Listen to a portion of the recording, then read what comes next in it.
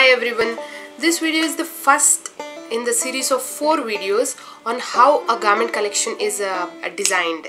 I am creating this series on request by Irem and Sherlly. I hope I am saying the names correct. Uh, this is long pending as I was traveling last month. I'm going to briefly explain the stages of design process from research to the uh, final detailed uh, uh, tech packs. Today's video is about how to do trend research.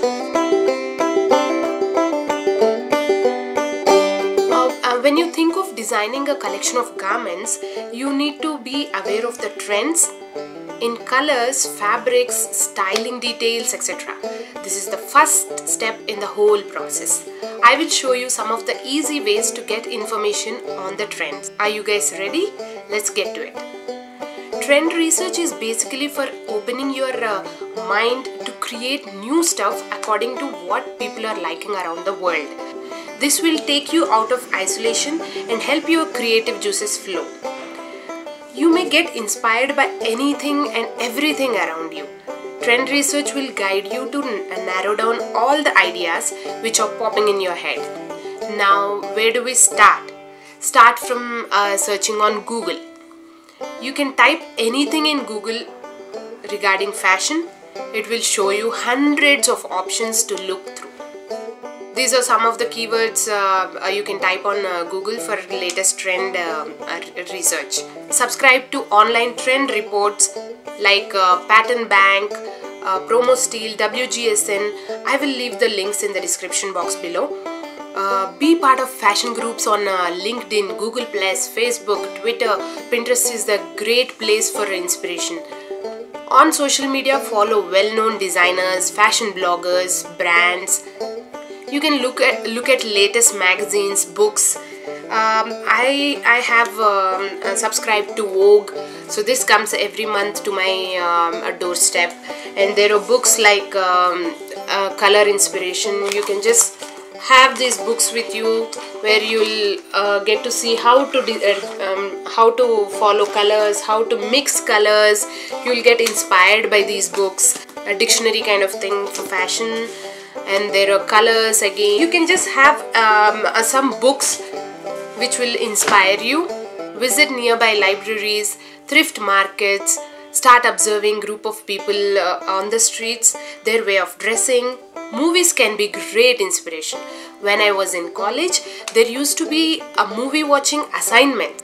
Watch a movie and write about the costumes this goes same for museums and art galleries.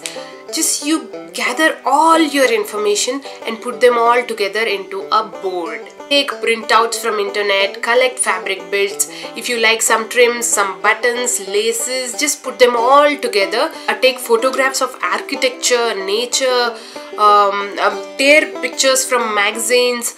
Collect everything and make make an inspiration board you can create different boards for colors, fabric, styles, trims, all separate boards but uh, I prefer putting all of them in one board. It can be as big or as small as you want. Pin it on your wall or keep it in your computer, whichever is convenient for you to look at. Your research is done. Yes, your research is done.